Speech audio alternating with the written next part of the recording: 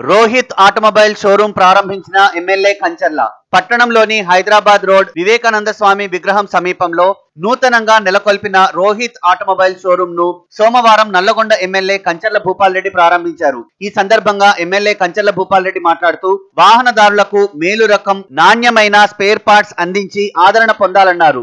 Automobiles యజమాని B. Bhaskar మాట్లాడుతూ వాహనదారుల సౌకర్యం కోసం ఈ షోరూం ను ఏర్పాటు చేశామని అనేక రకముల స్పేర్ పార్ట్స్ సరసమైన ధరలకే అందిస్తామన్నారు. రోహిత్ ఆటోమొబైల్స్ మా మా దగ్గర టూ వీలర్ మరియు త్రీ వీలర్ స్పేర్ పార్ట్స్ అన్ని లభించును.